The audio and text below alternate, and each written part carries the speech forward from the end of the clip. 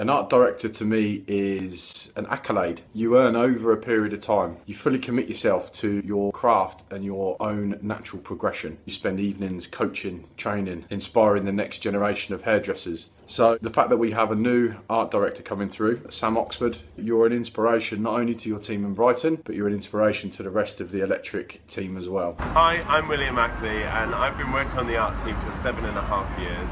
In that time I've represented the brand across Asia, Europe and America and really pushed myself creatively and it's made me become the hairdresser that I am today. And at the very top of the tree is a position called Art Director. Um, so out of almost 100 staff within Electric now, there are only uh, four art directors in the, in the company and Will was the founder, one of the founder members along with me of the Electric Artistic team. There's a lot of commitment that goes with it. You know, these guys are travelling around the, certainly around Europe, sometimes America and Asia as well.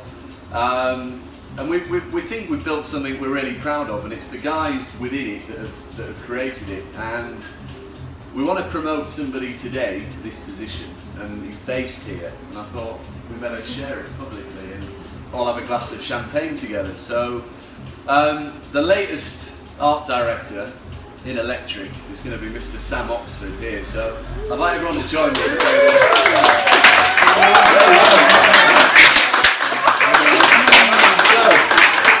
Sam, well done mate. It's uh, very well deserved. A lot of talent and a lot of hard work and uh, even more to come now. So, but more importantly, let's get these open and share it with everybody. Congratulations Sam, welcome to the art team. So proud of you, it's so well deserved. I'm really looking forward to working together with you. It takes a lot of time and dedication to become one and you've done brilliantly over the last couple of years. I look forward to spending the 10th year closely working with you and taking this brand forward. Well done buddy. Congratulations. Uh, I look forward to working with you in the future and let's look forward to 2017.